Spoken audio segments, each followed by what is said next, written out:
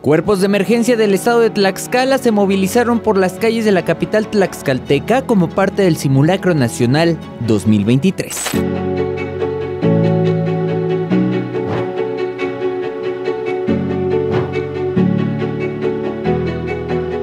A las 11 horas sonó la alarma sísmica en el Palacio de Gobierno y sus alrededores, por lo que más de 500 personas de dependencias estatales y municipales, así como de negocios en la zona de Portales, evacuaron los edificios. Como parte del ejercicio, tres personas resultaron lesionadas y no hubo desaparecidos. La evacuación se logró en un minuto con 37 segundos.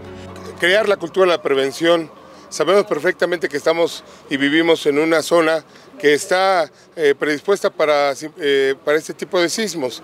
Entonces, lo más importante es la participación de la ciudadanía, que sepa qué hacer en estos momentos, cómo reaccionar y sobre todo mantener la calma para poder estar en un ambiente tranquilo y sobre todo no crear más riesgos de los que se tienen. Por parte de la coordinación y de las eh, dependencias participaron en todo el estado cerca de 300 elementos.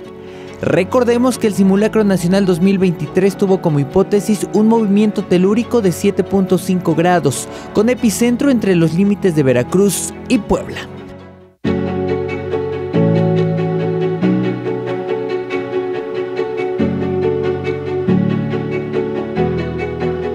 Mientras tanto, los ciudadanos consideran de vital importancia continuar con estas prácticas, argumentando que gracias a ellas los protocolos de actuación ante un terremoto han mejorado.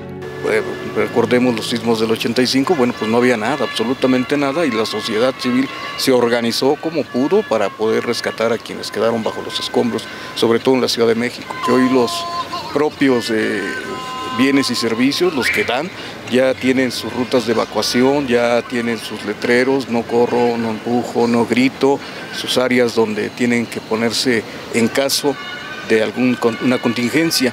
Yo creo que son muy importantes los simulacros porque ayudan a la gente a salvar vidas a, salvaguardar su integridad y entonces yo creo que son muy importantes los simulacros porque muchas de las veces no le damos importancia a estos eventos que parecieran tan sencillos pero que tienen un, un gran significado para la conservación de la vida. El simulacro nacional en Tlaxcala se replicó en hospitales, escuelas y otras dependencias públicas. Participaron un total de 741 inmuebles, 311 federales, 153 estatales, 33 municipales y 244 privados.